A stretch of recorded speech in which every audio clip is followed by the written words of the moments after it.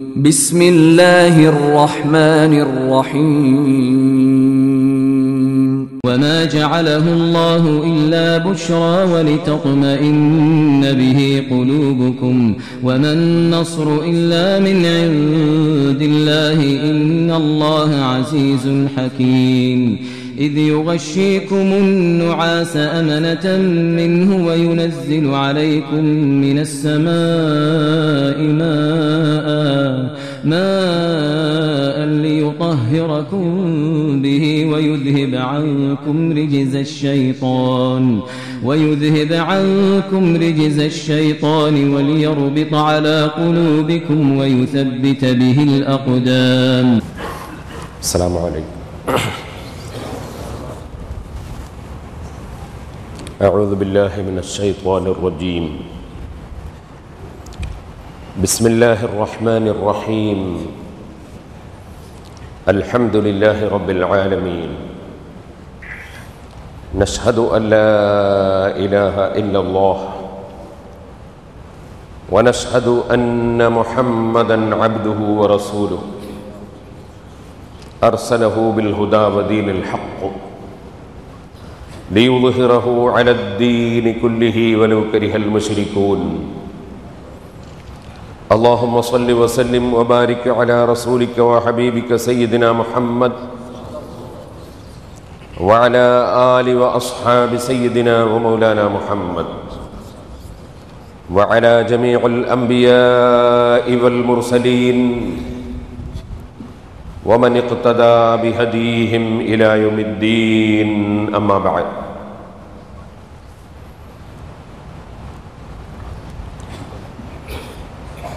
فأعوذ بالله من الشيطان الرجيم.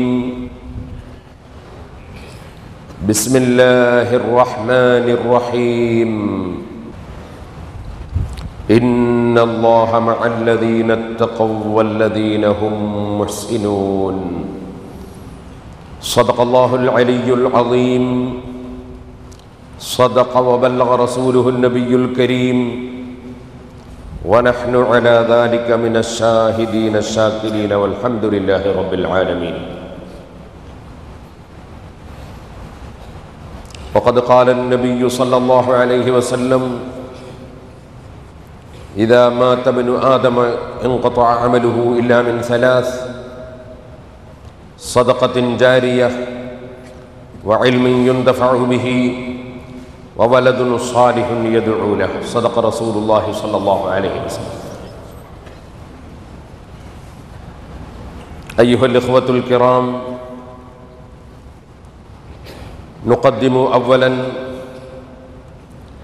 أسمى التهاني والتبريكات إلى صاحب السمو الشيخ خليفة بن زايد حفظه الله ورعاه. رئيس هذه الدولة المباركة. وإلى صاحب السمو الشيخ محمد بن زايد ولي عهد أبو ظبي حفظه الله ورعاه. وإلى صاحب السمو الشيخ محمد بن راشد المكتوم رئيس مجلس الوزراء نائب رئيس هذه الدولة حفظه الله ورعاه وإلى صاحب السمو سلطان بن محمد القاسمي الدكتور حاكم الشارقة عضو المجلس الأعلى حفظهم الله ورعاهم وإلى صاحب أصحاب السمو حكام الإمارات وأولياء الوحود وجميع سكانها شعبا وإقامة. الله يحفظ هذه الدولة المباركة من كل مكروه وسوء إلى يوم القيامة. ولا ننسى أول من سن استضافة العلماء إلى هذه الدولة في شهر رمضان المبارك لنشر دعوة الإسلام ولنشر العلوم الدينية الشيخ المرحوم فقيد الأمة الشيخ زايد بن سلطان تغمده الله بمغفرته ورضوانه وجمع الله بيننا وبينه وبين أمواتنا في الجنة. أيها المؤمنون نحن بتوفيق الله سبحانه وتعالى ومنه وكرمه في شهر عظيم مبارك. قد جعله الله سبحانه وتعالى سيد الشهور من بين سائر الأشهر في العام. جعل الله سبحانه وتعالى فيها خيرا كثيرا وفيه ليلة خير من ألف شهر.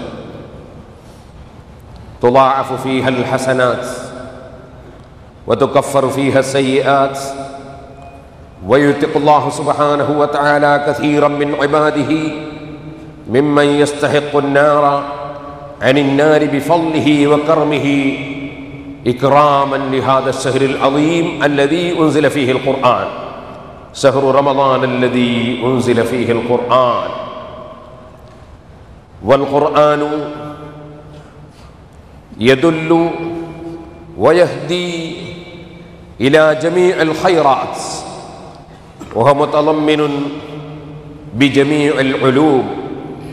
ولقد صرفنا في هذا القرآن للناس من كل مثل. وقد قال جل وعلا تبيانا لكل شيء فالقرآن إذا تمسكنا به نفوز فوزا عظيما في الدنيا وفي الآخرة. وكذلك وقد أرسل إلينا حبيبه سيدنا محمدا صلى الله عليه وسلم لتعليم الكتاب ولتزكية أنفسنا بالنبي صلى الله عليه وسلم. وهو الذي علمنا وأرشدنا ونصحنا وجاهد في أمور ديننا حق الجهاد صلى الله عليه وعلى آله وصحبه وسلم. أنا لا أطيل الكلام في اللغة العربية لأنكم تستمعون كثيرا من خطباء المساجد والأئمة كثيرا من النصائح والمحاضرات والموعظة والخطبات باللغة العربية. حث الشيخ الإمام في هذا اليوم في خطبة الجمعة للتصدق وللوقف. إن شاء الله أنا أترجم خلال محاضرتنا في اللغة المليبارية خطبته وأبين لكم إن شاء الله. أقدم حديثا واحدا لإخواننا من غير المليبارية للتعلق بيننا وبينهم بأنوار العلوم. وقد قال النبي صلى الله عليه وسلم يوما قدام الصحابة رضي الله عنهم من يأخذ عني هذه الكلمات؟ فسيدنا أبو هريرة رضي الله تعالى عنه موجود خلال الصحابة وهو في كل وقت يتهيأ للتعلم والعلم.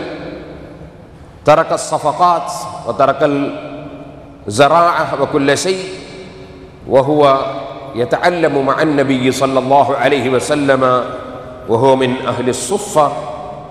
الذين يسكنون في مسجد رسول الله صلى الله عليه وسلم لتحصل العلم.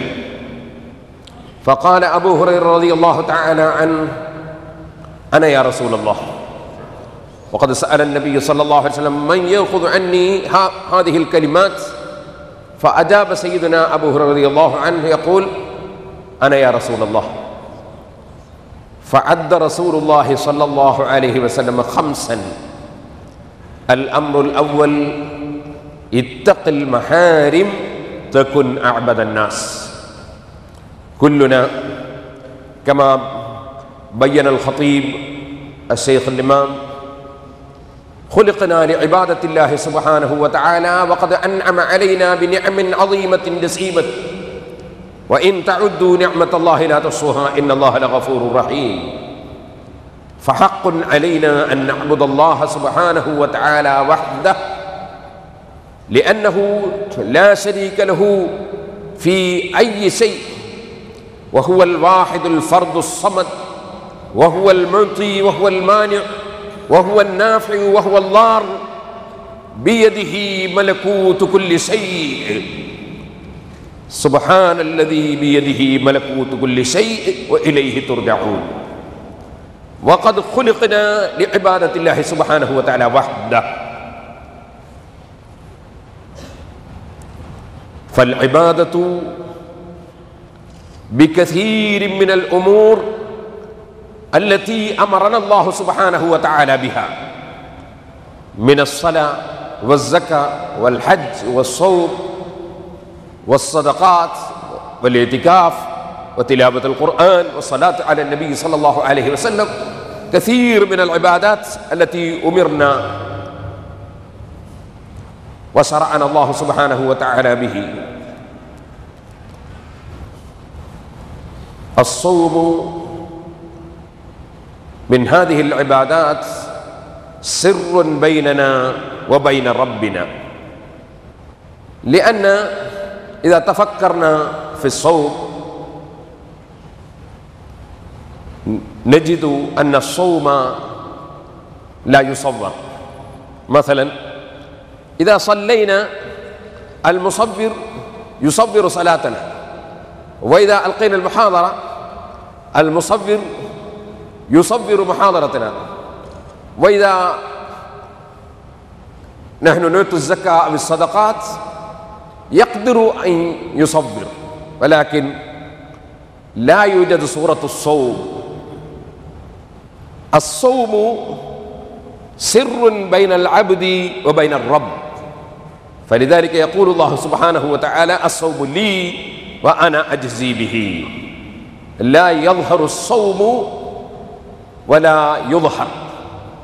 الصوم أمر بين العبد والرب. فلذلك يقول الصوم لي وأنا أجزي به. كثير من العبادات أمرنا الله سبحانه وتعالى. يا أيها الذين آمنوا كتب عليكم الصيام كما كتب على الذين من قبلكم لعلكم تتقون. لكن أنا أقول وقد بين رسول الله صلى الله عليه وسلم من هذه العبادة نحن نعبد الله سبحانه وتعالى كثيرا لكن يقول النبي صلى الله عليه وسلم اتق المحارم تكن أعبد الناس. لماذا تكون أعبد الناس؟ لأي شيء باي, بأي شيء تكون أعبد الناس؟ أنت تكون أعبد الناس إذا اتقيت المحارم. ينبغي علينا أن نعظم شعائر الله سبحانه وتعالى وينبغي علينا أن نحترم الحرمات ونجتنب عن جميع المحرمات من أي جهة كان. وقد أعطانا الله سبحانه وتعالى العين. ينبغي علينا أن نحفظه عن المحرمات. قل للمؤمنين يغضوا من أبصارهم ويحفظوا فروجهم. فذلك أزكى لهم إن الله خبير بما يصنعون. ويجب علينا أن نحفظ سماعنا عن الاستماع من المحرمات وينبغي علينا أن نحفظ أيدينا عن المحرمات وقد قال النبي صلى الله عليه وسلم العينان زناهما النظر والأذنان زناهما الاستماع واليد زناها البطش جميع الأعضاء نحن نحفظه عن المحرمات. وأيضا نحن نبتعد عن الحسد والكبر والرياء والحرص والشهوات. هذا من أعمال قلوبنا. وأيضا نحن نجتنب جميع المحرمات ونتقي المحارم نكن أعبد الناس. اتق المحارم تكن أعبد الناس. وثانيا عد رسول الله صلى الله عليه وسلم يقول وارض بما قسم الله لك تكن أغنى الناس. الغنى حقيقة إخوتنا غنى النفس. كما قال الإمام الشافعي رحمة الله عليه إن الفقيه هو الفقيه بفعله ليس الفقيه بنطقه ومقاله. وكذا الغني هو الغني بنفسه ليس الغني بماله وجماله. فالغنى حقيقة هو غنى النفس. نحن نجد كثيرا من أهل الثروة ومن أهل الخير. ولا يقنع ولا يقنعون بما أعطاهم الله سبحانه وتعالى. بل يكون تكون قلبه في كل وقت في التردد والمشاكل بالأمر الدنيوي.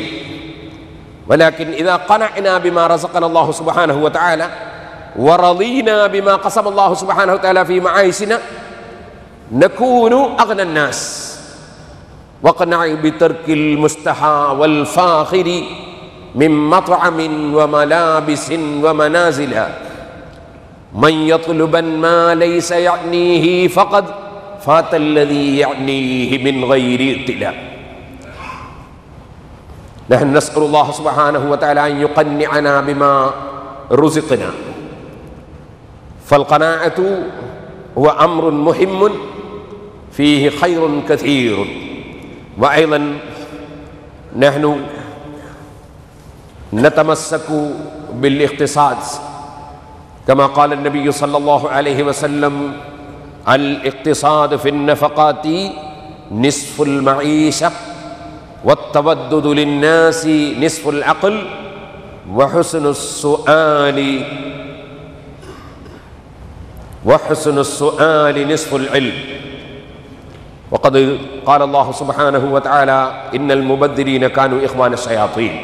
نحن نجتنب عن التبذير ونتمسك بالاقتصاد. هذا أمر من الله سبحانه وتعالى ومن حبيبه سيدنا محمد صلى الله عليه وسلم. وثالثا يقول النبي صلى الله عليه وسلم أحسن إلى جارك تكن مؤمنا. فالجيران حق علينا أن نحسن إليهم في جميع الأمور أمور الدين والدنيا. والنبي صلى الله عليه وسلم يقول أحسن إلى جارك تكن مؤمنا. وقد ورد في حديث آخر لا يؤمن أحدكم حتى يؤمن جاره ببائقه ورابعا يقول النبي صلى الله عليه وسلم أحب للناس ما تحب لنفسك تكن مسلما. تفكروا أيها الإخوة الكرام من الهنود نحن نعيش في الهند من بين الكفرة الذين يعبدون الأحجار والأشجار والأقارب والحيات وكثيرا من الخلائق.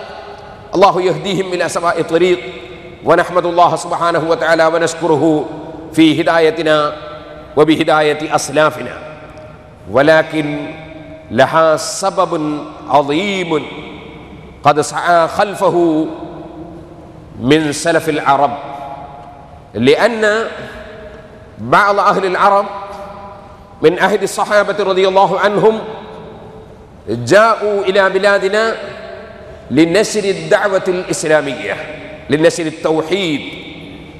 وهم تحملوا كثيرا من المشقة. وهم ركبوا السفينة الصغيرة التي تجري بالرياح لا بالمكينة وهم جاءوا إلى أسلافنا وتخلقوا بالأخلاق الحسنة. و وما جاءوا بالتطرف ولا بالتشدد ولا بالتعصب وهم جاءوا إلينا بالأخلاق الحسنة وهم لما تخلقوا بالأخلاق الحسنة قد مال مالت قلوب أسلافنا إليهم وإلى ما أتوا به إليهم من هذه الشريعة البيضاء. فدخل أسلافنا في دين الإسلام. وقد تبعنا وقد تبعناهم في الهداية. ف فالصحابة رضي الله عنهم والتابعون وهم أحب للناس ما يحبون لأنفسهم من الهداية والتزكية. فلذلك جاءوا إلينا وتحملوا كثيرا من المشقات ونسوا الدعوة الإسلامية. في بلادنا. واهتدينا واهتدى أسلافنا بأعمالهم الشاقة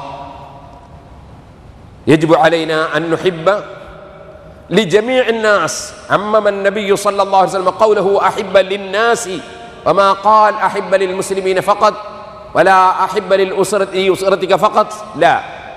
أحب للناس ما تحب لنفسك. الهداية.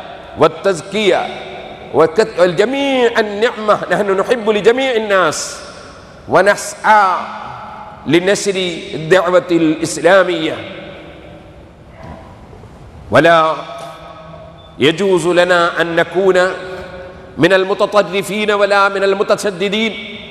وقد قال الله سبحانه وتعالى كذلك جعلناكم أمة وسطا لتكونوا شهداء على الناس ويكون الرسول عليكم شهيدا. وقد أمرنا بطاعة أولي الأمر من علماء الدين ومن ومن حكام المسلمين. ولا يجوز لنا أن نشدد ولا أن نتطرف.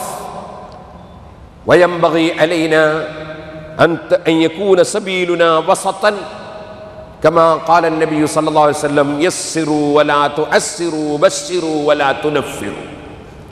بالأخلاق الحسنة قد نشر الدعوة الإسلامية أسلافنا من الصحابة رضي الله عنهم والتابعين وتابعيهم من الأئمة المجتهدين والصالحين رضي الله عنهم جميعا. أحب للناس ما تحب لنفسك. وخامسا يقول النبي صلى الله عليه وسلم ولا تكثر الضحك فإن كثرة الضحك تميت القلب لأن إذا فرحنا أسد الفرح وضحكنا كثيرا هذا تميت هذا يميت قلوبنا. وقد قال النبي صلى الله عليه وسلم لو تعلمون ما أعلم لضحكتم قليلا ولبكيتم كثيرا. يجب علينا أن نكون خاشعين لله جل وعلا باكين على ذنوبنا وخطايانا ونادمين ومستغفرين بالأسحار. والنبي صلى الله عليه وسلم عد سبعة يظلهم الله بظله يوم لا ظل إلا ظله ومنهم ورجل ذكر الله خاليا ففاضت عيناه. فهذا الشهر العظيم ينبغي علينا في السحور وفي في الأوقات المجابة أن يسيل دموعنا من خدنا من أعيننا على خدنا. خشية لله سبحانه وتعالى. نسأل الله سبحانه وتعالى التوبة والمغفرة. ويجعل الله سبحانه وتعالى وإياكم من الآمنين في الدنيا وفي الآخرة ويحفظ هذه الدولة وحكامها وأصحابها من كل مكروه وسوء إلى يوم القيامة. وجزاكم الله خيرا. وأنا أعتذر إخواننا العرب. أنا أنتقل إلى لغتنا المليبارية لكي يفهم أهل بلادنا ما نلقي إليهم من المحاضرة. جزاكم الله خير الجزاء. وشكرا. വസ്സലാമു അലൈക്കും വറഹമത്തല്ലാഹി വബർക്കാത്ത് പ്രിയപ്പെട്ട സഹോദരന്മാരെ സുഹൃത്തുക്കളെ അർഹമുറാഹിമിനായ റബ്ബ് സുബാനഹുവ മഹത്തായ അനുഗ്രഹം നൽകി നാം പരിശുദ്ധ റമദാനിൽ അള്ളാഹുവിന്റെ ഭവനമായ പള്ളിയിൽ പള്ളിയിൽ താമസിക്കലിനെ കരുതി ഈത്തിക്കാഫിനെ കരുതി ഇരിക്കുന്നവരാണ്. അഹ്മാലു ബിൻ നിയ്യാത്ത് വൈന്നമ ലിംലി ഇമ്മാനവ സഹീഹുൽ ബുഖാരിയിൽ ഒന്നാമത്തെ ഹദീസ് ഏത് പ്രവർത്തനങ്ങളും നെയ്യത്തനുസരിച്ചാണ്. ഏതൊരു മനുഷ്യനും അവനവന്റെ ഉദ്ദേശമനുസരിച്ചാണ് അള്ളാഹ് സുബാനഹുവത്തിന്റെ സ്വീകരണവും സാധുതയും പ്രതിഫലവും നൽകുന്നത്. അള്ളാഹു നമ്മുടെ നീയത്തുകളെല്ലാം സർവ വിഷയത്തിലും നന്നാക്കി തെരുമാറാകട്ടെ. കിബിർ ഒജുബ് റിയ ഹസദ് അമൽ ഹിർസ് ബിദ്അത്ത് തുടങ്ങിയ എല്ലാ രോഗങ്ങളിൽ നിന്നും നമ്മുടെ കൽബിനെ അള്ളാഹു സുബാനഹുവത്തിനെ ശുദ്ധീകരിക്കുമാറാകട്ടെ. സുഹൃത്തുക്കളെ നാം എല്ലാം അള്ളാഹുവിന്റെ സാധുക്കളായ അടിമകളാണ്. അടിമകളായ നമുക്ക് അഹങ്കരിക്കാനും അമിതമായി ആഹ്ലാദിക്കാനും വകയില്ല. ഉടമസ്ഥനായ റബ്ബ് എല്ലാറ്റിനും കഴിവുള്ളവനാണ്. വാസ്തവത്തിൽ അവൻ മാത്രമേ കഴിവുള്ളവൻ ഉള്ളൂ. തഖ്ദിറു വലാ നഖ്ദിറു. നസ്തഖ്ദിറുക തഖ്ദിറു വലാ നഖ്ദിറു. അസ്റഫുൽ സല്ലല്ലാഹു അലൈഹി വസല്ലം ദുആ ചെയ്യുന്ന സമയത്ത് പറഞ്ഞു അള്ളാഹുവേ നിന്റെ കുതിരത്ത് കൊണ്ട് ഞാൻ കഴിവ് ചോദിക്കുന്നു. കാരണം നീ മാത്രമാണ് കഴിവുള്ളവൻ ഞങ്ങൾ കഴിവുള്ളവരല്ല. എല്ലാ കഴിവും എല്ലാ മഹത്വവും എല്ലാ അനുഗ്രഹങ്ങളും അള്ളാഹുവിങ്കിൽ നിന്ന് മാത്രം ലഭ്യമാകുന്നതാണ്. കുല്ലും മിൻ എന്തില്ല മുഴുവൻ വിഷയങ്ങളും അള്ളാഹുവിങ്കിൽ നിന്നാണ്. അമാബിക്കും മിൻ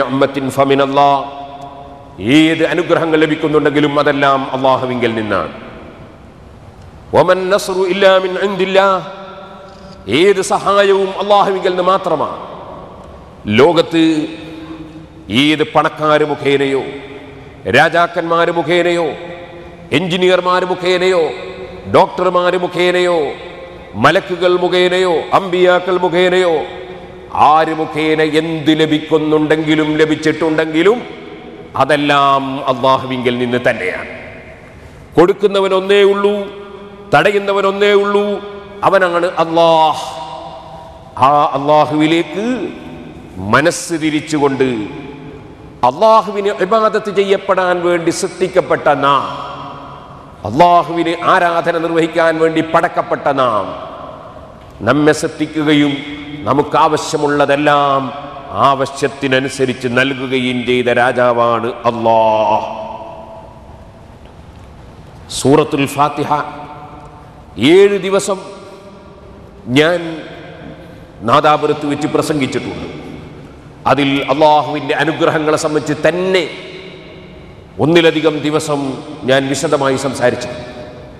തിരിയട്ടെ മനസ്സുകൾ റബ്ബിലേക്ക് എന്ന എന്റെ സി ഡിയിലും സൂറത്ത് യാസീൻ ഏഴ് ദിവസം സംസാരിച്ചപ്പോൾ അതിലുമൊക്കെ ഞാൻ വിശദമായി പറഞ്ഞിട്ടുണ്ട്. ഇപ്പോൾ വിശദമായി സംസാരിക്കാൻ കഴിയില്ല. അള്ളാഹു നമുക്ക് ചെയ്ത ഞമ്മത്തുകൾ അനുഗ്രഹങ്ങൾ എണ്ണിയാലൊടുങ്ങാത്ത അനുഗ്രഹങ്ങളാ. ആ അനുഗ്രഹങ്ങൾ മറ്റൊരു സൃഷ്ടി ചെയ്യുന്നത് പോലെയല്ല. ഏത് സൃഷ്ടികളും നമുക്ക് വല്ല ഗുണവും ചെയ്യുമ്പോൾ അതിന് പകരം അവർക്കൊരു ഗുണം കിട്ടണം എന്ന് അവരുടെ കൽബിലുണ്ടാവുക സ്വാഭാവികമാണ്. ഞാൻ എന്റെ മക്കൾക്ക് ഗുണം ചെയ്യുന്നുവെങ്കിൽ ആ മക്കളെ കൊണ്ട് ദുനിയാവിലും ആഹ്റത്തിലും എനിക്ക് ഉപകരി ഉപകാരം ലഭിക്കണമെന്ന് ഞാൻ ആശിക്കുന്നുണ്ട്. അള്ളാഹു നമ്മുടെ മക്കളെ എല്ലാവരെയും ഈ റമദാനിന്റെ ബർക്കത്ത് കൊണ്ട് നന്നാക്കി തെരുമാറാകട്ടെ. സുഹൃത്തുക്കളെ അങ്ങനെ ഓരോരുത്തരും. എന്നാൽ അള്ളാഹുവിന്റെ ഗുണം ചെയ്യൽ അങ്ങനെയല്ല. അള്ളാഹുവിന് അങ്ങോട്ടൊന്നും കിട്ടാനില്ല. ഒന്നിന്റെയും ആവശ്യവുമില്ല. അന്തുമുൽ നിങ്ങൾ അള്ളാഹുവിലേക്ക് എപ്പോഴും എന്തിനും എത്രയും ഏത് സമയത്തും ആവശ്യമുള്ളവരാണ്. അള്ളാഹു ആരിലേക്കും ആവശ്യമില്ലാത്തവനാ അപ്പോൾ അവൻ ചെയ്യുന്ന മുഴുവൻ അനുഗ്രഹങ്ങളും പൂർണമായി ഔദാര്യമാണ്.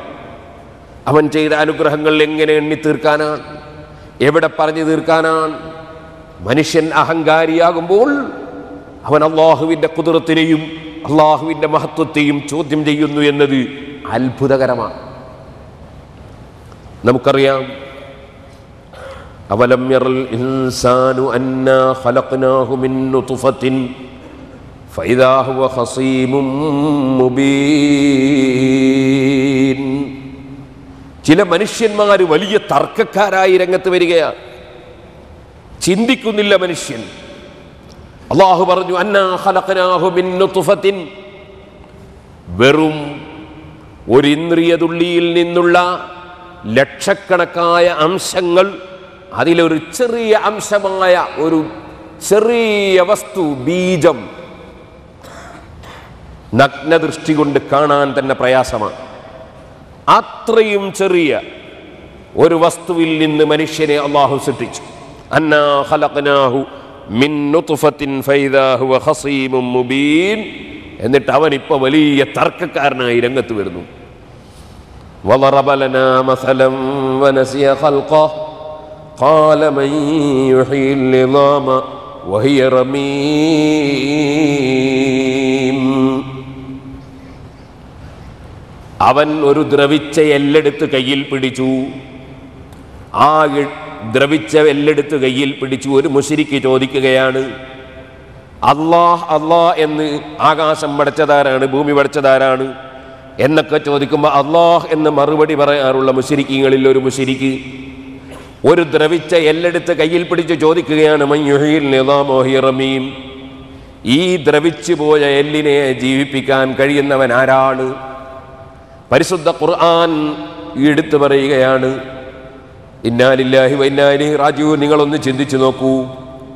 ഖുർആൻ അതിനെ സംബന്ധിച്ച പറഞ്ഞതുപോലെ സിയ ഹൽക്ക അവൻ അവന്റെ സൃഷ്ടിപ്പ് മറന്നുപോയി.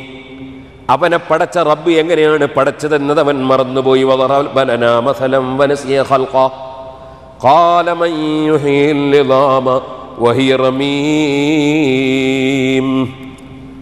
അതിന്റെ തുടക്കമാണ് അള്ളാഹു പറഞ്ഞു വെച്ചത്.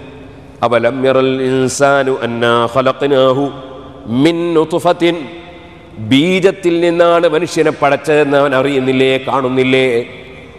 ബീജം എന്ന് പറയുമ്പോൾ ഞാൻ പറഞ്ഞല്ലോ ഒരു ഇന്ദ്രിയ തുള്ളിയുടെ ലക്ഷക്കണക്കിന് അംശങ്ങളിൽ നിന്നുള്ള ഒരു ചെറിയ അംശം. നഗ്നദൃഷ്ടി കൊണ്ട് കാണാൻ പ്രയാസമാണ് ഉപകരണം വേണം കാണാൻ. അത്രയും ചെറിയൊരംശം അതിൽ നിന്ന് മനുഷ്യനെ അള്ളാഹു സുബാനഹുവ തേല സൃഷ്ടിച്ചു. നിങ്ങൾ ആലോചിക്കൂ ആ മനുഷ്യനാണ് ദ്രവിച്ച എല്ലെടുത്ത് കയ്യിൽ പിടിച്ച് അത് കൈകൊണ്ട് പിടിച്ചൊന്ന് ഞെക്കി അമർത്തി പിടിച്ചതിന് ശേഷം ആ എല്ലിന്റെ പൊടി ഇങ്ങനെ നിലത്ത് വീഴുന്നത് കണ്ടപ്പോ മയ്യുഹീൽ ഇളാമോ ഹിറമീം. ഈ ദ്രവിച്ചു പോയ എല്ലിനെ ആർക്കാണ് ജീവിപ്പിക്കാൻ കഴിയുക എന്ന് വെല്ലുവിളിച്ചത്? വാസ്തവത്തിൽ അവന് ചിന്തിച്ചുകൂടെ വനസിയ ഖൽഖഹു. അവൻ അവന്റെ സൃഷ്ടിപ്പിനെ മറന്നുപോയി. അവനെ അള്ളാഹു തല പഠിച്ചതെങ്ങനെയാണെന്ന് അവൻ ആലോചിച്ചില്ലേ? ഇപ്പൊ എല്ലും എല്ലിന്റെ പൊടിയും കാണാനില്ലേ? എന്നാ ഇവരെ പടക്കുന്ന സമയത്ത് കാണാൻ പോലും ഇല്ലാത്ത അത്രയും ചെറിയ ബീജത്തിലാണ് അവരെ പഠിച്ചത്. അതും എത്ര അത്ഭുതകരമായിട്ടാണ് പഠിച്ചത്. നിങ്ങൾ നോക്കൂ ബാപ്പയുടെയും ഉമ്മയുടെയും ശരീരത്തിൽ നിന്ന് പുറപ്പെട്ട ബീജവും അണ്ടവും സങ്കലനം നടത്തി മനുഷ്യന് സൃഷ്ടിപ്പ് നൽകുമ്പോൾ ആ ചെറിയ വസ്തു അതിൽ അള്ളാഹു എന്തൊക്കെയാ ഉൾപ്പെടുത്തിയത്? ഒരാളെ കണ്ടു നോക്കുമ്പോൾ ആ അയാൾ ഇന്നാളെ മകനാന്ന് തോന്നിട്ട് മുഖം കണ്ടപ്പോൾ അപ്പോൾ ആ ചെറിയ വസ്തുവിൽ ബാപ്പാന്റെ മുഖത്തിന്റെ ഛായ അള്ളാഹു തേല ഉൾപ്പെടുത്തിയിട്ടുണ്ട്. സുബാന ഒരാൾ നടന്നു പോകുമ്പോൾ അയാളെ നടത്തം നോക്ക്. ബാപ്പാന്റെ അതേ നടത്തം ആ നടത്തവും ഇതിലല്ല ഉൾപ്പെടുത്തിയിട്ടുണ്ട്. വേറെ ഒരാൾ അതാ അദ്ദേഹത്തിന്റെ തടി കണ്ടപ്പോൾ ആ ബാപ്പാന്റെ അതേ തടി തന്നെ. അപ്പോൾ ആ വലിപ്പവും അല്ലെങ്കിൽ ആ മെലിച്ചലും അതും അള്ളാഹു ഇതിൽ ഉൾപ്പെടുത്തിയിട്ടുണ്ട്. വേറൊരാൾ ബാപ്പാനെ പോലെ തന്നെ നല്ല സ്വഭാവം കേട്ടോ. അപ്പോൾ ബാപ്പാന്റെ സ്വഭാവവും ഉൾപ്പെടുത്തി. സൗണ്ട് ബാപ്പാന്റെ അതേ സൗണ്ട് തന്നെ. ഓ അപ്പോൾ സൗണ്ടും ഉൾപ്പെടുത്തിയിട്ടുണ്ട്. എത്രത്തോളം ചിലപ്പോൾ കയ്യക്ഷരം വരെ ബാപ്പാന്റെ അതേ ശൈലിയുള്ള കയ്യക്ഷരം.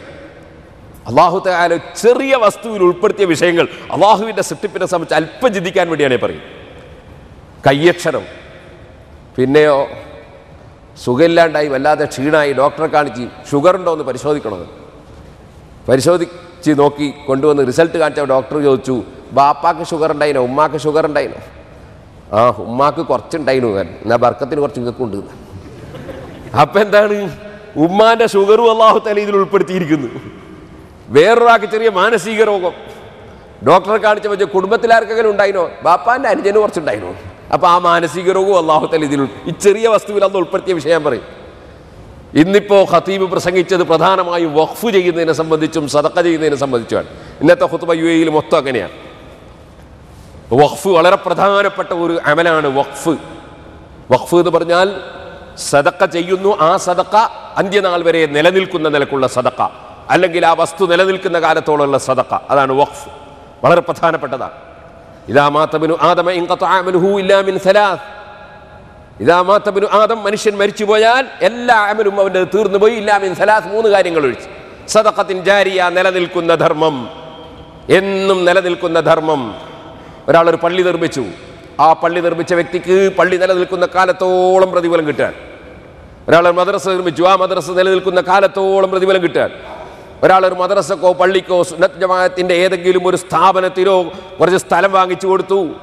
ആ സ്ഥലം നിലനിൽക്കുന്ന കാലം യാമെന്നാൾ വരെയും അദ്ദേഹത്തിന് പ്രതിഫലം കിട്ടാൻ അങ്ങനെ ഏത് വിഷയവും അള്ളാഹുവിന്റെ ദീനിന് വേണ്ടി ആര് സ്ഥിരമായ നിലയ്ക്ക് എന്ത് ചെയ്തോ സാധുക്കൾക്ക് ഭക്ഷണം കൊടുക്കാൻ വേണ്ടി ഒരാൾ ഒരു വലിയ ഒരു ബിൽഡിംഗ് വഖഫ് ചെയ്തു. അത് എന്നും അദ്ദേഹത്തിന് പ്രതിഫലം കിട്ടുക സദക്കത്തിൻ ജാരിയ നിലനിൽക്കുന്ന ധർമ്മം മദ്രസ പള്ളി അതുപോലെ ദീനിയായ സ്ഥാപനങ്ങളൊക്കെ അതിൽപ്പെട്ടതാണ്.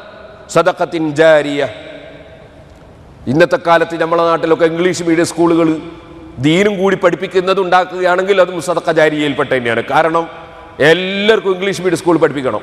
നല്ല തന്നെ കാരണം ഇംഗ്ലീഷ് അറിഞ്ഞുകൂടാഞ്ഞിട്ട് ആണല്ലോ. പലപ്പോഴും നമ്മളെ മലയാളികൾ പല സ്ഥലത്തും പല വലിയ വലിയ ഓഫീസിൽ നമ്മൾ കയറി ചെല്ലുമ്പോൾ അവിടെ ഒക്കെ മാനേജർ പോസ്റ്റിലും മറ്റു പോസ്റ്റിലൊക്കെ ഉള്ളത് നസ്രാനികളാണ്. നമ്മളെ മലയാളികൾ ആണെങ്കിൽ തന്നെ മലയാളി മുസ്ലിമീങ്ങൾ അധികവും കാണുന്നത് ഫറാസായിട്ടും കാവ കൊടുക്കുന്ന ആളായിട്ടൊക്കെയാണ് കാണുന്നത്. അത് തെറ്റായതുകൊണ്ടല്ല വിദ്യാഭ്യാസം കുറഞ്ഞതുകൊണ്ടാണ് അതുകൊണ്ട് വിദ്യാഭ്യാസ രംഗത്ത് നന്നായി പ്രവർത്തിക്കേണ്ടതാണ്. അപ്പോൾ ഇംഗ്ലീഷ് മീഡിയം സ്കൂളൊക്കെ നല്ലത് തന്നെ പക്ഷേ ആ സ്കൂളുകളിൽ ദീന് പഠിപ്പിക്കണം ദീന് പഠിക്കണം. എട്ട് ഇംഗ്ലീഷ് മീഡിയം സ്കൂളുകൾ അലഹമില്ല ഞാൻ നടത്തുന്നുണ്ട് സിറാജുൽ ഹുദയുടെ കീഴിൽ കാരണം എന്താണെന്ന് ചോദിച്ചാൽ നമ്മുടെ കുട്ടികൾ ദീന് പഠിക്കാതെയായി പോകുന്നത് ഭയപ്പെട്ടിട്ട്. ഓല ഷെഡ് കെട്ടിയിട്ട് തുടങ്ങിയപ്പോൾ പലരും പരിഹസിച്ചവരുണ്ടായിരുന്നു മുസ്ലിയാമാർ ഇംഗ്ലീഷ് മീഡിയത്തെ അങ്ങനെ ഉണ്ടാവും എന്ന് ചോദിച്ചു അലഹമില്ല മൂന്ന് സ്കൂൾ കുറ്റിയാടിയിൽ നാദാവരുത്തും അതുപോലെ തന്നെ പാറക്കടവിലും മൂന്ന് സ്കൂളിലും ഈ പ്രാവശ്യം എസ് എസ് എൽ സി പരീക്ഷ എഴുതി കുട്ടികൾ ഈ C B S E syllabus പ്രകാരം എല്ലാവരും ഡിസിഷൻ വാങ്ങി. പതിമൂന്ന് കുട്ടികൾ എല്ലാ വിഷയത്തിലും നൂറ് മാർക്ക് വാങ്ങി. അള്ളാഹു സുബാനുത്തല നമ്മുടെ സ്ഥാപനങ്ങൾക്കുള്ള ബർക്കത്തുകൾ നിലനിർത്തി അപ്പൊ ഞാൻ പറഞ്ഞത് അതും സദക്കജാരിയെ തന്നെയാണ്. ദീന് പഠിപ്പിക്കലാണ് നമ്മുടെ ഉദ്ദേശം. അതോടുകൂടെ ഭൗതികമായും പഠിക്കണം. രണ്ടും പഠിക്കണം മുസ്ലിമീങ്ങൾ. എല്ലാ വിഷയത്തിലും മുസ്ലിമീങ്ങൾ പുരോഗമിക്കണം. ഒരു വിഷയത്തിലും പിന്നിലായി പോകാൻ പാടില്ല. അതേസമയത്ത് നമ്മൾ വർഗീയവാദികളോ തീവ്രവാദികളോ ഭീകരവാദികളോ ആകാനും പാടില്ല. ഇരിക്കട്ടെ സുഹൃത്തുക്കളെ ഞാൻ പറഞ്ഞു വന്നത് സദക്കജാരിയ ഏത് കാര്യമാണെങ്കിലും. സദക്കജാരി അള്ളാഹുങ്കിൽ വലിയ പ്രതിഫലം കിട്ടുന്നതാണ്. സദക്കത്തിൻ ജാരിയ. അതുപോലെ തന്നെ ബിഹി ഉപകാരപ്രദമാകുന്ന ഇൽമ്. അതുപോലെ വലതുൻ സാലിഹുൻ നല്ല കുട്ടി നല്ല മക്കൾ നല്ല മക്കൾ വളരെ പ്രധാനപ്പെട്ട ഒന്നാണ്. ഖയാമത്ത് നാൾ വരെ സന്താന പരമ്പര നിലനിൽക്കുമ്പോൾ നമുക്ക് അള്ളാഹുവിങ്കിൽ അവർ ചെയ്യുന്ന മുഴുവൻ വിവാദത്തുകളും ചെയ്യുന്ന സമയത്ത് നമുക്ക് അള്ളാഹുവിൽ പ്രതിഫലം ലഭിക്കും. മക്കൾ കുറെ ഉണ്ടാകണമെന്നാണ് ചിന്തിക്കേണ്ടത്? ഒന്നോ രണ്ടാവുമ്പോൾ നിർത്തണമെന്നല്ല ചിന്തിക്കേണ്ടത്. അത്രയും കൂടുതൽ അവർ നിസ്കരിക്കുമ്പോൾ നമുക്ക് പ്രതിഫലം കിട്ടും. അവർ നോമ്പെടുക്കുമ്പോൾ നമുക്ക് പ്രതികൾ കിട്ടും. ഇപ്പം ഞാൻ അതിലേക്ക് കടക്കുന്നില്ല വിവാഹം എന്ന ഒരൊറ്റ വിഷയം അഞ്ച് ദിവസം ഞാൻ കുറ്റിയാടി വിളിച്ച് പ്രസംഗിച്ച സി ഡി ഉണ്ട് കിട്ടുമ്പോൾ വാങ്ങി കേൾക്കണം. അതിന് ഞാൻ വിശദമായി പറഞ്ഞിട്ടുണ്ട്. മഹറിനെ സംബന്ധിച്ച് സ്ത്രീധനത്തെ സംബന്ധിച്ച് മാത്രം ഒരു ദിവസം പ്രസംഗിച്ചിട്ടുണ്ട്. കാരണം ചിലരൊക്കെ ധാരണ സ്ത്രീധനം വാങ്ങൽ സുന്നത്താണ്. വളരെ താഴ്ന്ന ഒരു ഏർപ്പാടാണ്. അതുപോലെ തന്നെ മഹർ വർദ്ധിപ്പിക്കുന്നതും സുന്നത്തല്ല അതും കറാഹത്താണ്. പണ്ഡിതന്മാരത് വിശദീകരിച്ചിട്ടുണ്ട്. അഞ്ഞൂറ് ദൃഹമിലധികം മഹർ അതും കറാഹത്താണെന്ന് പണ്ഡിതന്മാർ പറഞ്ഞിട്ടുണ്ട്. ഇരിക്കട്ടെ ഇപ്പോൾ അതിലേക്കൊന്നും കിടക്കുന്നില്ല. അതൊക്കെ ഇൻഷാല്ല സി ഡിയിൽ നിന്ന് കേൾക്കാം. ഞാൻ എന്റെ വിഷയത്തിലേക്ക് തന്നെ പോകുന്നു. അപ്പോൾ ധർമ്മം ചെയ്യാന്നുള്ള വലിയൊരു വിഷയമാണ് അങ്ങനെ ഒരാൾ ഒരു സ്ഥലത്ത് ഒരു വലിയ മുതലാളിനെ കാണാൻ പോവാണ്. ധർമ്മം വാങ്ങാൻ വേണ്ടി കാണാൻ പോവാണ്. അപ്പോൾ മറ്റേ ആൾ അവിടെ പോണ്ടാന്ന് പറഞ്ഞു. ഞാൻ പറഞ്ഞത് അള്ളാഹു തായാല ബീജത്തിൽ ഉൾപ്പെടുത്തിയ വിഷയങ്ങളെ സംബന്ധിച്ചാണ് പറഞ്ഞു വന്നത് കാണാൻ പോകുമ്പോൾ പോണ്ട ഞാൻ എന്താ ചോദിച്ചു നിങ്ങൾക്ക് അറിഞ്ഞൂടെ അയാൾ ബാപ്പാനെ അഞ്ച് ദിവസം കൊടുക്കലുണ്ടോ? ഇല്ല. എന്നാൽ അതുപോലെ തന്നെയാണ് മോനും തന്നെ അപ്പൊ അള്ളാഹു താല ഈ ചെറിയ ബീജത്തിന്റെ ഉള്ളിൽ ബാപ്പാന്റെ ബുഹുലും കൂടി ഉൾപ്പെടുത്തിയിരിക്കുന്നു. ഈ ചെറിയ വസ്തുവിൽ അള്ള ഉൾപ്പെടുത്തിയ വിഷയങ്ങളാണ് ഞാൻ പറയുന്നത്. വേറൊരാൾ അദ്ദേഹം പോയാൽ എന്തെങ്കിലും തരും എന്റെ അയാളെ ബാപ്പി അങ്ങനെ തരുന്നത് കൊടുക്കുന്ന ആളാണ്. അപ്പൊ ആ കൊടുക്കാനുള്ള ഔദാര്യ മനസ്ഥിതിയും അള്ളാഹു തല ഈ ബീജത്തിൽ ഉൾപ്പെടുത്തിയിരിക്കുന്നു. എന്താ ഇപ്പോൾ ഉൾപ്പെടാത്തത്? ഇത്രയും ചെറിയ ബീജത്തിൽ നിന്ന് ഇത്രയും അത്ഭുതകരമായി മനുഷ്യനെ സൃഷ്ടിച്ച രാജാതിരാജനായ അള്ളാഹ്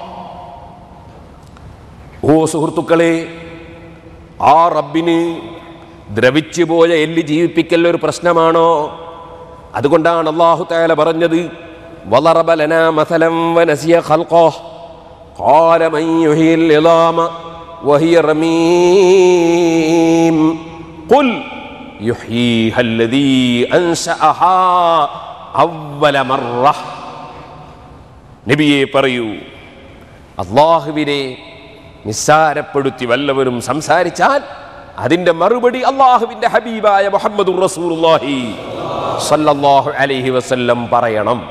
അതാണ് കുൽ പറയൂ നബിയെ. എന്നെ തരം താഴ്ത്തി സംസാരിച്ചവന് തങ്ങൾ മറുപടി പറയും. ഇനി തങ്ങളെ തരം താഴ്ത്തി വല്ലവനും സംസാരിച്ചാൽ അള്ളാഹു എന്ന് ഞാൻ മറുപടി പറയും. അങ്ങനെയാണ്. ഇന്ന ഫസല്ലി ലിറബ്ബിക വൻഹർ ഇന്ന സാനിയക ഹുവൽ അബ്തർ നബി സല്ലാഹു അലൈഹി സ്വലം നിങ്ങളുടെ ആൺമക്കളൊക്കെ കുട്ടിക്കാലത്ത് വഫാത്തായി പോയി അള്ളാഹുവിന്റെ റസൂലിന് വലിയ സ്ഥാനം അള്ളാഹു തേരെ കൊടുക്കാനുണ്ടായ കാരണങ്ങളിൽ നിമിത്തങ്ങളായി പല സംഗതിയും നടന്നതിൽ ഒന്നാണത്. അതിന്റെ പുറമെ മക്കൾ മരിച്ചു പോകുന്ന മൂമിനീങ്ങളായ ആളുകൾക്ക് മനസ്സമാധാനത്തിന് വലിയൊരു അവകാശവുമാണ് അള്ളാഹുവിന്റെ ഹബീബായ നബി സല്ലാഹു അലൈഹി സ്വലം തങ്ങളുടെ മുഴുവൻ ആൺമക്കളും മരണപ്പെട്ടു പോയിട്ടുണ്ടല്ലോ. അത് എനിക്ക് അള്ളാഹുവിൽ വലിയ പ്രതിഫലം കിട്ടാനുള്ള ഒരു കാര്യമാണെന്ന് മനസ്സിലാക്കി സമാധാനിക്കുന്ന ഒരു വകുപ്പുമാണ് എന്നാ സുഹൃത്തുക്കളെ ഒരു ഗുരുത്തം കെട്ടവൻ പറഞ്ഞു മുഹമ്മദ് പിൻഗാമികളില്ലാത്ത ആളാണ് എന്ന് പറഞ്ഞു. സല്ലാഹു അലഹി വല അലഹി വസല്ലം. ആ സമയത്ത് അള്ളാഹു അതിന് മറുപടി പറഞ്ഞു അതാണ്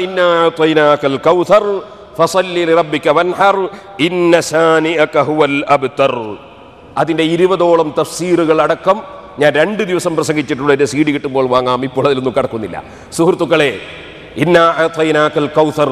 ഓ നബിയേ ധാരാളം ഖൈറുകൾ തങ്ങൾക്ക് നമ്മൾ തന്നിരിക്കുന്നു. എന്ന് പറഞ്ഞിട്ട് അള്ളാഹു തായാല അദ്ദേഹത്തിന് മറുപടി പറഞ്ഞു. ആർക്ക്? അള്ളാഹുവിന്റെ റസൂലിനെ കുറ്റം പറഞ്ഞവന് മറുപടി പറഞ്ഞു. അപ്പൊ നബി സല്ലല്ലാഹു അലൈഹി തങ്ങളെ നിസ്സാരപ്പെടുത്തി ആര് സംസാരിച്ചാലും അല്ല മറുപടി പറയും. നബി സല്ല അള്ളാഹുവിനെ ആരെങ്കിലും കുറ്റപ്പെടുത്തിയാൽ നബി സല്ലല്ലാഹു അലൈഹി ഹബീബ് മറുപടി പറയണം. അതാണ് കൊൽ പറയൂ നബിയെ വലിയ തർക്കക്കാരനായി ഈ എല്ലിനെ ആർക്ക് ജീവിപ്പിക്കാൻ കഴിയുമെന്ന് ചോദിച്ചവന് മറുപടി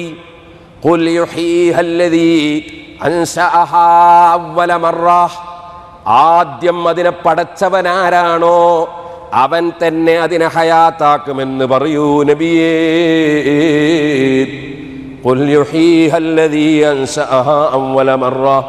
വഹുവ ബിക്കുല്ലി അല്ലദീ അൻശഅഹാ അവ്വല മറ وهو بكل خلق عليم അവൻ എല്ലാ സൃഷ്ടികളെ കുറിച്ചും നന്നായി അറിയുന്നവനാണ് എല്ലാ സൃഷ്ടിപ്പിനെ കുറിച്ചും അറിയുന്നവനാണ് وهو بكل خلق عليم الذي جعل لكم من الشجر الأخضر نارا فإذا أنتم منه توقدون നിങ്ങൾ കുറ്റ്യാടിയിൽ നിന്നിട്ട് വയനാട് മലയിലേക്ക് തിരിഞ്ഞു നോക്കിയാൽ നാദാപുരത്ത് നിന്ന് അതേ വാണിമേലി അതുപോലെ വിലങ്ങാട് മലയിലേക്ക് തിരിഞ്ഞു നോക്കിയാൽ അവിടെ നിന്ന് മരങ്ങൾ പരസ്പരം ഉരഞ്ഞു കത്തുന്നത് കാണാറില്ലേ?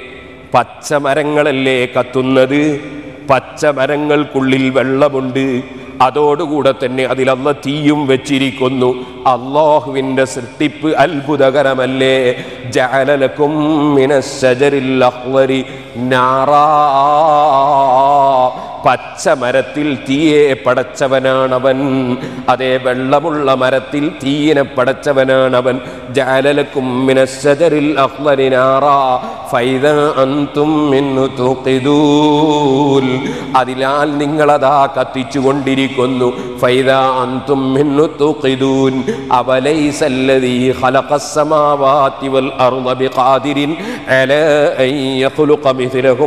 ബലാ.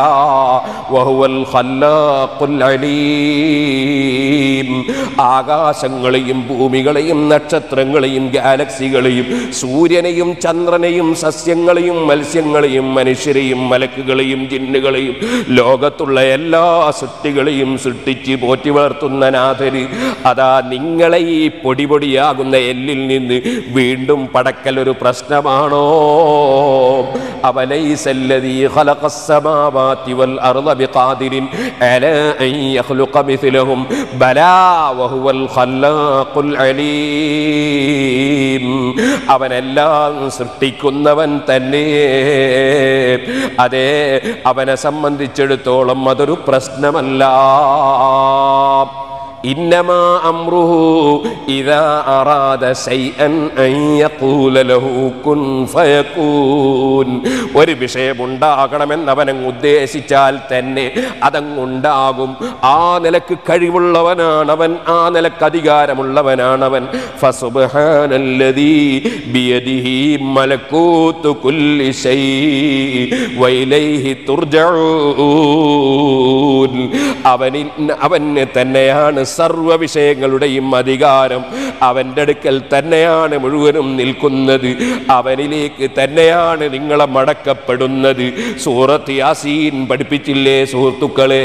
അങ്ങനെ സർവ അധികാരത്തിന്റെയും ഉടമസ്ഥനായ സർവ നിയമത്തും ചെയ്തു തരുന്നവനായ ആ റബ്ബ് സുബാനഹുവല അവനെ സ്നേഹിച്ചുകൊണ്ട് ജീവിക്കൽ നമ്മുടെ കടപ്പാടാണ്.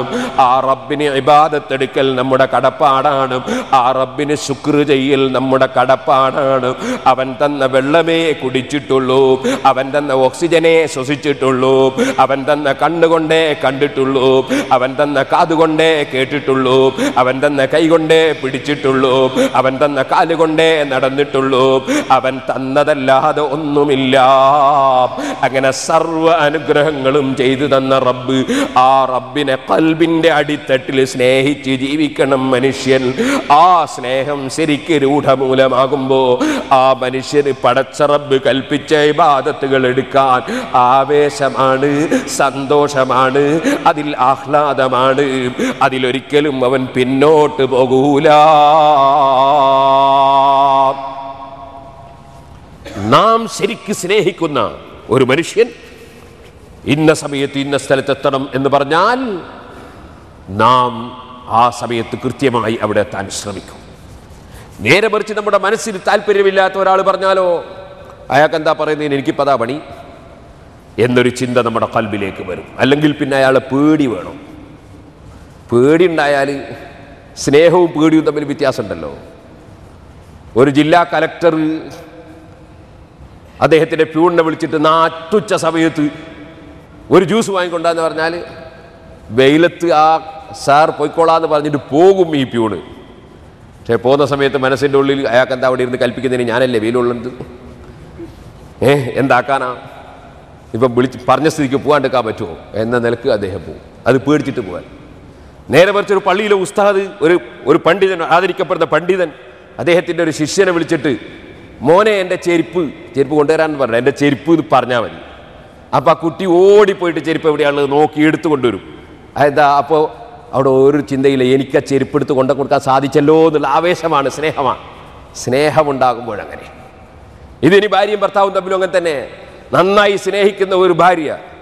ആ ഭാര്യ ഭർത്താവിനെ സംബന്ധിച്ചിടത്തോളം ഭർത്താവിന്റെ ഷർട്ടും തുണിയൊക്കെ അവൾ കലക്കണം വേറെ ആരും കലക്കുന്ന അവൾ ഇഷ്ടപ്പെടില്ല അവൾ കലക്കണം ഭർത്താവിന് ചായ അവൾക്ക് കൊണ്ടു കൊടുക്കണം. എന്നോട് ഒരാൾ ഒരു സ്ത്രീ ഒരു ദിവസം എനിക്ക് ഒരു കത്ത് കൊടുത്തയച്ചു ബാപ്പാന്റെ അടുത്ത് കത്ത് കൊടുത്തയച്ചു ആ കത്തിൽ അവൾ പറയുന്നത് എന്റെ ഭർത്താവ് നല്ല ആളാണ്. നല്ല പ്രവർത്തകനാണ്. നിങ്ങൾക്കൊക്കെ അറിയുന്ന ആളാണ്. പക്ഷേ എന്നോടൊരിക്കലും പുഞ്ചിരിക്കൂല. എന്നിൽ നിന്നൊരു ചായ പോലും വാങ്ങി കുടിക്കുകയില്ല. അത് പെങ്ങന്മാരോടെ പറയുള്ളൂ. ആ സ്ത്രീ സങ്കടം എഴുതി അറിയിച്ചു. അങ്ങനെ ആകാൻ പാടില്ല കേട്ടോ സ്വന്തം ഭാര്യനോട് പുഞ്ചിരിക്കണം. ഭാര്യനോട് എന്നല്ല എല്ലാവരോടും പുഞ്ചിരിക്കണമെന്നാണ്. അന്യ സ്ത്രീകളോട് പുഞ്ചിരിക്കാൻ പാടില്ല.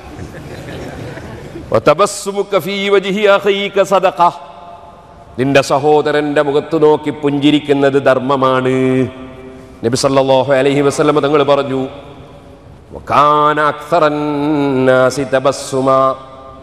നബി സല്ലല്ലാഹു അലൈഹി വസല്ലം തങ്ങളുടെ സ്വഭാവം ഏറ്റവും കൂടുതൽ പുഞ്ചിരിക്കുന്ന ആളായിരുന്നു മുഹമ്മദ് റസൂലുള്ളാഹി. സുഹൃത്തുക്കളെ അവിടുത്തെ സ്വഭാവം ഏറ്റവും പവിത്രമായ ഉന്നതമായ സ്വഭാവമല്ലേ? അള്ളാഹു തേല അതിൽ നിന്നൊരു ചെറിയ അംശമെങ്കിലും ജീവിതത്തിൽ പകർത്താൻ നമുക്ക് ഭാഗ്യം നൽകട്ടെ. ആരെ കണ്ടാലും പുഞ്ചിരിക്കുന്ന സ്വഭാവം. യുജീബു ദഅവത്തൽ അബുദിവൽ വൽ ഹുരി പാവപ്പെട്ടവൻ ക്ഷണിച്ചാലും പോകും പണക്കാരൻ ക്ഷണിച്ചാലും പോകും. അടിമകൾ ക്ഷണിച്ചാലും പോകും സ്വതന്ത്രന്മാർ ക്ഷണിച്ചാലും പോകും. അല്ലാതെ പണക്കാർ ക്ഷണിക്കുമ്പോൾ കൃത്യത്തിന് കല്യാണത്തിനെത്തും സാധുക്കൾ ക്ഷണിച്ചാൽ പോകാൻ നേരം ഉണ്ടാവില്ല അങ്ങനെയല്ല. യുജീബു ഏത് പാവപ്പെട്ടവൻ ക്ഷണിച്ചാലും നബി സല്ലാഹു അലഹി വസല്ലമ തങ്ങൾ ക്ഷണം സ്വീകരിക്കും. അവിടുത്തെ സ്വഭാവം എല്ലാ രംഗത്തും അങ്ങനെയാണ്. എന്തിനധികം പറയണം? ഫർൾ നിസ്കരിക്കുമ്പോൾ അവിടുന്ന് വളരെ ചുരുക്കി നിസ്കരിക്കും. കാരണം പിന്നിൽ ഈ ജമാഅത്തായിട്ടല്ലേ നിസ്കരിക്കുന്നത്? പിന്നിൽ ധാരാളം ആളുകൾ വന്ന് തുടർന്നിട്ടുണ്ട്. ആ തുടർന്നിട്ടുള്ള ആളുകളിൽ പലരും പെട്ടെന്ന് പോകേണ്ടവരുണ്ടാകും. മറ്റ് ചില ആളുകൾ അതേ അവർക്ക് കൂടുതൽ നിൽക്കാനും കുനിയാനും പറ്റാത്തവരുണ്ടാകും. അങ്ങനെ വരുന്നത് കൊണ്ട് ഫറന്ന് നിസ്കരിക്കുമ്പോൾ ജമാഅത്തായി നിസ്കരിക്കുമ്പോൾ ഫറന്ന് ജമാഅത്തായി മാത്രമേ അവിടുന്ന് നിസ്കരിക്കാറുള്ളൂ. അവിടത്തേക്ക് ശരീരത്തിന് രോഗമായിട്ട് നടക്കാൻ കഴിയാത്ത സമയം വന്നപ്പോൾ മഹാന്മാരായ സഹാബത്ത് രണ്ടാളുകളുടെ ചുമരിൽ അവിടുത്തെ കൈവച്ചിട്ട് കാലി എഴച്ചഴച്ച് നടന്നുപോയി പള്ളിയിൽ നിന്ന് നിസ്കരിച്ചുവെന്ന് സഹീഹുൽ ബുഖാരി പോലുള്ള ഹരീഥിന്റെ ഗ്രന്ഥങ്ങളിൽ കാണാം. ജമാഅത്തിന് അത്രയും വില കൽപ്പിച്ചിരുന്നു മഹാനായ മുഹമ്മദ് റസൂലുള്ളാഹി സല്ലല്ലാഹു അലൈഹി വസല്ലമ തങ്ങളും സഹാബത്തും. നമ്മളും പരമാവധി ജമാഅത്തായി തന്നെ നിസ്കരിക്കണം. ഇപ്പോൾ ഞാനതിലേക്ക് ദീർഘിപ്പിച്ച് കടന്ന് സംസാരിക്കുന്നില്ല. സൂറത്തുൽ മുഅ്മിനൂനയുടെ ആദ്യ ഭാഗം ഏഴ് ദിവസം ഞാൻ പ്രസംഗിച്ച സി ഡിയുണ്ട്. അതിലതിനെ സംബന്ധിച്ച് വിശദമായി പറഞ്ഞിട്ടുണ്ട്. സുഹൃത്തുക്കളെ ഞാൻ പറഞ്ഞു വരുന്നത് നിങ്ങൾ ഓർക്കണം നബി സല്ലല്ലാഹു അലഹി വസല്ലമ തങ്ങൾ ഇമാമായി നിസ്കരിക്കുന്നത് കൊണ്ട് പിന്നിലുള്ളവർക്ക് വിഷമമാകരുതെന്നതിനാൽ നിസ്കാരം ചുരുക്കി നിസ്കരിക്കലാണ് പതിവ്. എന്നാൽ സുന്നത്ത് നിസ്കരിക്കുമ്പോൾ അങ്ങനെയല്ല. സുന്നത്ത് നിസ്കരിക്കുമ്പോൾ ഒറ്റ റക്കയത്തിൽ തന്നെ നൂറുകണക്കിനായത്തോതും സുജൂദിനും റുക്കോയിലും നൂറുകണക്കിന് തസ്ബീഹ് ചൊല്ലും. പടച്ച റബ്ബിനെ സ്നേഹിച്ചുകൊണ്ട് റബ്ബിനെ ശുക്ർ ചെയ്യുമ്പോൾ റബ്ബുമായുള്ള സംഭാഷണത്തിൽ മുഴുകുന്നതിൽ എന്തൊരു സന്തോഷമാണ്. എന്തൊരു ആനന്ദമാണ്. ഭക്തിയോടുകൂടെ നിസ്കരിക്കുന്നവർക്ക് മാത്രമേ ആനന്ദം ലഭിക്കൂ. ഇന്നഹാല ഭക്തിയില്ലാതെ ദുന്യാവിന്റെ ചിന്തകളും മനസ്സിൽ കരുതി നിസ്കാരത്തിൽ കടന്ന് നിസ്കരിക്കുന്നവർക്ക് നിസ്കാരം ഭാരം തോന്നും. അള്ളാഹുവിനോടുള്ള സംഭാഷണമാണെന്ന നിലയ്ക്ക് ഭക്തിപൂർവം നിസ്കരിക്കുന്നവർക്ക് നിസ്കാരത്തിൽ നല്ല ആനന്ദം തോന്നും. കാരണം അത് യജമാനനായ റബ്ബുമായുള്ള സംഭാഷണമാണ്. യജമാനനായ റബ്ബുമായുള്ള സംഭാഷണമാണ്. സുഹൃത്തുക്കളെ നമ്മളാരും അഹങ്കരിക്കരുത്. നമ്മളാരും തന്നെ മറ്റുള്ളവരെ കുറ്റം പറയരുത്. വേറെയുള്ളവരെ നിസ്സാരപ്പെടുത്തരുത്. അതിനു മുമ്പ് നമ്മളെ സംബന്ധിച്ച് സ്വന്തം നമ്മൾ ചിന്തിക്കണം. ഒരു നിസ്കാരത്തിൽ കടന്നിട്ട് ആദ്യം മുതൽ അവസാനം വരെ ഭക്തിപൂർവം പടച്ചവനിലേക്ക് ചിന്ത അർപ്പിച്ചുകൊണ്ട് നിസ്കരിക്കാൻ എന്റെ ജീവിതത്തിൽ സാധിച്ചിട്ടുണ്ടോ? ഇല്ല എന്നാണ് നമ്മുടെ മനസ്സ് മറുപടി പറയുന്നതെങ്കിൽ മറ്റുള്ളവരെ നിസ്സാരപ്പെടുത്തുകയും കുറ്റം പറയുകയും ചീത്ത പറയുകയും ഓരോരുത്തരും നരകത്തിലാണെന്ന് വിധിക്കുകയും ചെയ്യുന്ന ഏർപ്പാട് അവനവന് ദോഷകരമല്ലേ? അവനവന്റെ ആഹ്റത്തെക്കുറിച്ച് അവനവൻ ചിന്തിക്കേണ്ടതല്ലേ? ബാഹു സാധുക്കളായ നമ്മെ മുഴുവനും നന്നാക്കി തരട്ടെ. നബി സല്ലാഹു അലൈഹി വസല്ലമ തങ്ങൾ സുന്നത്ത് നിസ്കരിക്കുമ്പോൾ നീണ്ട നിസ്കാരമാണ് കാരണം പിന്നിലാരുമില്ല. പിന്നിൽ ആളില്ലാത്ത നിസ്കാരമാണ് നീണ്ട നിസ്കാരമാണ്. അങ്ങനെയുള്ളൊരു നിസ്കാരത്തിൽ കടന്ന സമയത്ത് അള്ളാഹുവിന്റെ റസൂൽ സല്ലാഹു അലഹി വല അലിഹി വസഹ്ബിഹി വസല്ലം അവിടുത്തെ കാണാനോ അവിടുത്തോട് സംസാരിക്കാനോ ആരെങ്കിലും വന്നിട്ടുണ്ടെങ്കിൽ നബി സല്ലാഹു അലഹി വസല്ലമ തങ്ങൾ യക്സുറു സലാത്തഹു നിസ്കാരം വളരെ ചുരുക്കും പെട്ടെന്ന് നിസ്കരിച്ച് തീർക്കും. കാരണം കാണാൻ വന്നാൾ വെയിറ്റ് ചെയ്തിട്ട് ബുദ്ധിമുട്ടുണ്ടാകുന്നുള്ള നിലയ്ക്ക് സുന്നത്ത് നിസ്കാരം വളരെ പെട്ടെന്ന് നിസ്കരിച്ചു തീർക്കും. എന്നിട്ട് അദ്ദേഹവുമായി സംസാരിച്ച് അദ്ദേഹത്തെ വിട്ടതിന് ശേഷം പിന്നെയും നിസ്കാരത്തിലേക്ക് കടക്കും. അത്രയും വിശാലമായ മനസ്സ് കാണിച്ചുകൊണ്ട് വിശാലമായ സ്വഭാവം പ്രകടിപ്പിച്ച ഏറ്റവും ഉന്നത സ്വഭാവത്തിന്റെ വക്താവാണ് അസ്രഫുൽ ഖൽഖ് മുഹമ്മദുർ റസൂലുള്ളാഹി സല്ലല്ലാഹു അലൈഹി വസല്ലം. അർഹമുറാഹിമീനായ റബ്ബ് സുബ്ഹാനഹു വ തആല. ആ റബ്ബ് സുബ്ഹാനഹു അവന്റെ അനുഗ്രഹങ്ങൾ എണ്ണിയാൽ ഒടുങ്ങാത്ത അനുഗ്രഹങ്ങൾ അനുഭവിച്ച് ജീവിക്കുന്ന നമ്മൾ. സുഹൃത്തുക്കളെ ആ അള്ളാഹുവിനെ സ്നേഹിക്കേണ്ടതുണ്ട്. അള്ളാഹുവിനെ സ്നേഹിക്കേണ്ടതുണ്ട്. ആ സ്നേഹമാണ് ഏറ്റവും വലുത്. ഭയമല്ല. ഭയം എന്നത് മറ്റൊരു വിഷയമാണ്. ഞാൻ പറഞ്ഞല്ലോ സ്നേഹിക്കുന്ന വ്യക്തി എന്തെങ്കിലും ഒരു കാര്യം കൽപ്പിച്ചാൽ ആ കൽപ്പിച്ച കാര്യം ചെയ്യാൻ ആവേശമാണ് സന്തോഷമാണ് കൽപ്പിച്ച കാര്യത്തിലേക്ക് മനുഷ്യൻ ആവേശപൂർവം ചെല്ലുകയാണ് അള്ളാഹു കൽപ്പിച്ച ഏതൊക്കെ വിഷയങ്ങളുണ്ടോ അതെല്ലാം ജീവിതത്തിൽ പകർത്തുന്നതിൽ നമ്മൾ ആവേശമുള്ളവരാകണം പടച്ച റബ്ബിന് നന്ദി ചെയ്യൽ അങ്ങനെയാണ് وما تقرب إلي عبدي بشيء أحب إلي مما افترضته عليه അള്ളാഹു ഫർലാക്കിയ വിഷയങ്ങൾ ചെയ്യാതെ പടച്ചറബിലേക്ക് അടുക്കാൻ സാധ്യമല്ല അള്ളാഹു താര നിർബന്ധമാക്കിയ വിഷയങ്ങൾ ചെയ്തുകൊണ്ടാണ് പടച്ചറബിലേക്ക് അടുക്കേണ്ടത്. അഞ്ച് വക്ത് കൃത്യമായി നിസ്കരിക്കണം ഹജ്ജ് ചെയ്യണം ഉമ്ര ചെയ്യണം കഴിവുള്ളവർ സക്കാത്ത് കൊടുക്കണം കഴിവുള്ളവർ നോമ്പെടുക്കണം പോരാ ഇത് മാത്രമല്ല ഫർദ്.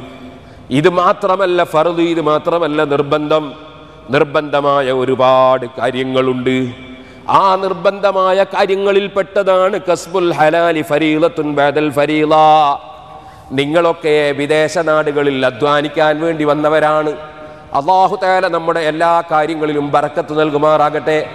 ജോലിയില്ലാത്തവർക്ക് അള്ളാഹു തേല ഖൈറായ ജോലി നൽകട്ടെ. കസ്ബുൽ ഹലാലി ഫരീലത്തുൻ ബാദൽ ഫരീല. ഫർളിന് ശേഷം മറ്റൊരു ഫർളാണ് അഥവാ ഒരു ഫർളായ സംഗതി തന്നെയാണ്. എന്ത്? ഹലാലായ ജോലിയെടുക്കുക എന്നത് ജോലി ജോലിയെടുക്കുന്നത് മോശമായ പണിയല്ല. നമ്മുടെ മാതാപിതാക്കൾക്കും കുട്ടികൾക്കും ഭാര്യമാർക്കും നമുക്കും ജീവിതം കഴിയാൻ വേണ്ടി ജോലിയെടുക്കൽ നമുക്ക് നിർബന്ധമാണ്. യാചിച്ച് ജീവിക്കുന്നത് അള്ളാഹു തേല ഇഷ്ടപ്പെടുന്ന കാര്യമല്ല. അപ്പൊ അധ്വാനിക്കുന്നത് നല്ലതാണ് അള്ളാഹുവേ അധ്വാനിക്കാൻ വേണ്ടി നാടും വീടും വിട്ട് വന്ന മുഴുവൻ ആളുകൾക്കും അവരുടെ അധ്വാനങ്ങളിൽ നീ ബറക്കത്ത് ചെയ്യണം റഹ്മാനെ. നിന്റെ കാവൽ നൽകണം റഹ്മാനെ. ബിസിനസ് നടത്തുന്ന പലരും ഈ സദസ്സിലുണ്ടാകാം. ബിസിനസ്സുകൾ കുഴപ്പമുള്ള സംഗതിയല്ല.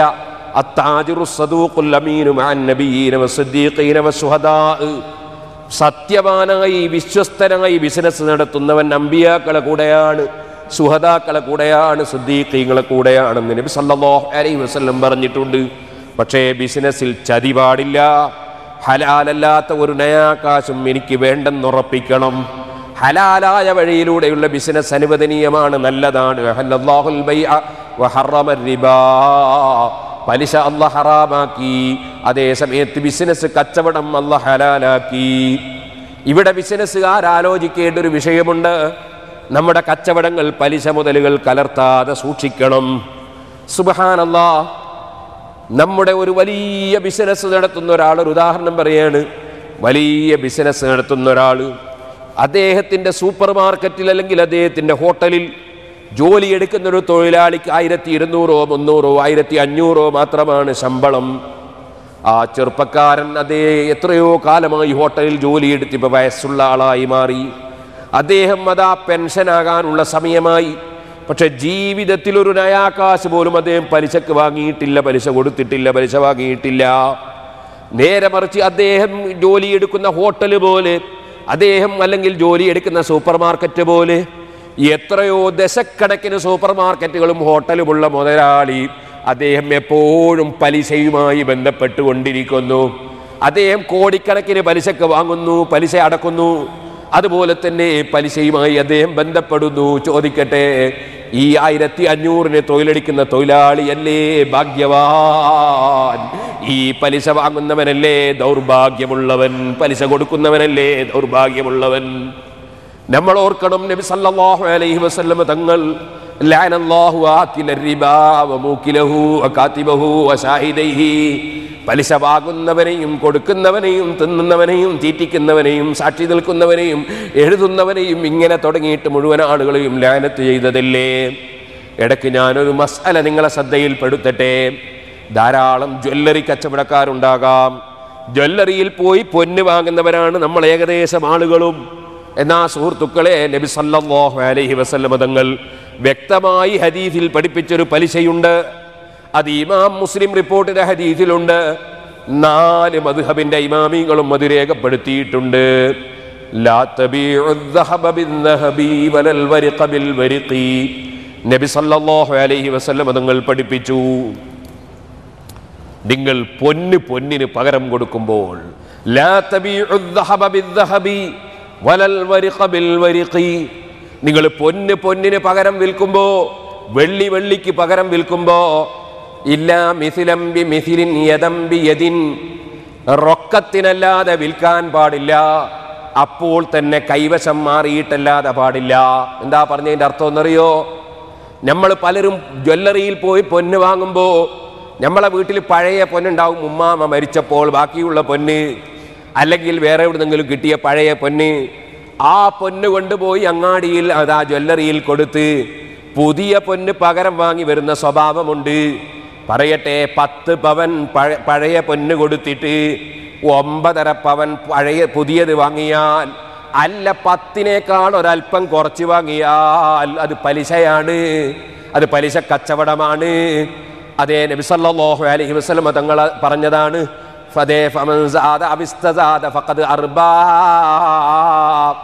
പൊന്ന് പൊന്നിന് പകരം വിൽക്കുമ്പോ തൂക്കം തുല്യമായിരിക്കണം. വെള്ളി വെള്ളിക്ക് പകരം വിൽക്കുമ്പോ തൂക്കം തുല്യമായിരിക്കണം. റൊക്കമായിരിക്കണം. കടത്തിന് കൊടുത്താലും പലിശയാണ്. അതുപോലെ തന്നെ കൂടുതലിന് കൊടുത്താലും പലിശയാണ്. അപ്പൊ ഉസ്താദേ പത്ത് പവൻ പഴയ പൊന്നിന് ആരാ പത്ത് പവൻ പുതിയത് തരാൻ നിൽക്കുന്നു? വേണ്ട നിന്റെ പഴയ പവൻ പൊന്ന്. ആ പഴയ പൊന്ന് നീ വിലക്ക് വിറ്റോ? എന്നിട്ട് നീ അതിന്റെ സംഖ്യ വാങ്ങിക്കോ. പുതിയ പൊന്നിന് വാങ്ങണമെങ്കിൽ അതിനൊന്നും കിട്ടൂല. ആയിക്കോട്ടെ അതിനത്തിന് കിട്ടുന്നത് പതിനെട്ടായിരം. എന്നാൽ ഒരു ലക്ഷത്തി എൺപതിനായിരം കൊടുത്തിട്ട് പത്ത് വാങ്ങിച്ചോ. കുഴപ്പമില്ല പത്ത് നീ കൂട്ടിയിട്ടോ. അല്ലാതെ പൊന്നിന് പകരം പൊന്ന് വിൽക്കുകയാണോ? ഇസ്ലാമിന്റെ നിയമമാണ്. ഒരു മധുഹബിലും തർക്കമില്ല. നാല് മധുഹബിലെ ഇമാമിങ്ങളും യോജിപ്പാണ്. സഹിഹായ ഹരീതാണ് നബി സല്ലാഹു അലൈഹി പഠിപ്പിച്ചതാണ് പൊന്ന് പൊന്നിന് പകരം വിൽക്കുമ്പോൾ വർധനവിന് വിൽക്കാൻ പാടില്ല. വെള്ളി വെള്ളിക്ക് പകരം വിൽക്കുമ്പോഴും അങ്ങനെ തന്നെയാണ്. ഇനി വെള്ളിക്ക് പകരം പൊന്നാണെങ്കിൽ വർധനവിന് കുഴപ്പമില്ല. ഇതുപോലെ തന്നെയാണ് അരിക്ക് പകരം അരി വിൽക്കുമ്പോഴും ഗോതമ്പത്തിന് പകരം ഗോതമ്പ് വിൽക്കുമ്പോഴും ഇങ്ങനെ തന്നെയാണ്. അവിടെയും വർധനവ് പാടില്ല. സുഹൃത്തുക്കളെ ഞാൻ പറഞ്ഞു വന്നത് ഇടയ്ക്ക് ഞാൻ സൂചന നൽകിയെന്നേ ഉള്ളൂ. നമ്മൾ ഓർക്കണം. ഒന്നുകൂടി ഞാൻ പറയട്ടെ നമുക്ക് മനസ്സിലായതനുസരിച്ച്.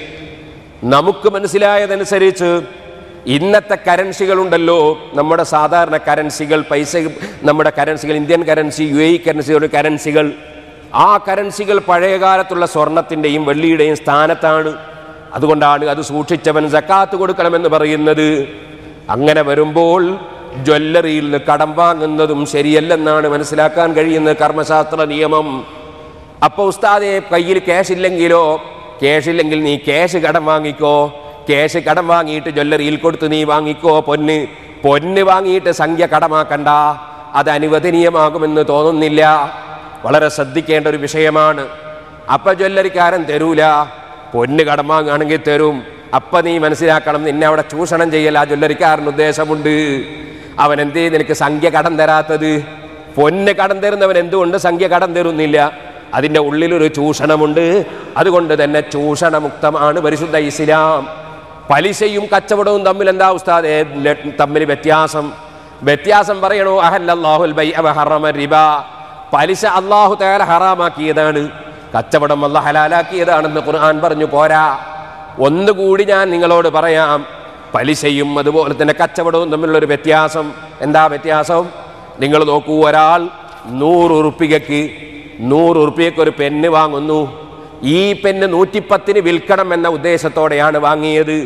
അപ്പൊ നൂറ് ഉറുപ്പിക അദ്ദേഹം മുതലിറക്കി. അദ്ദേഹത്തിന് പകരം ഒരു പൊന്ന് ഒരു പെന്ന് കിട്ടി. ആ പെന്ന് അദ്ദേഹം നൂറ്റിപ്പത്തിന് വിൽക്കണമെന്ന് മനസ്സിലാക്കി കൊണ്ടുവന്ന് വെച്ചു. ഈ സമയത്ത് അദ്ദേഹത്തിന്റെ മനസ്സ് പിടക്കുകയാണ്.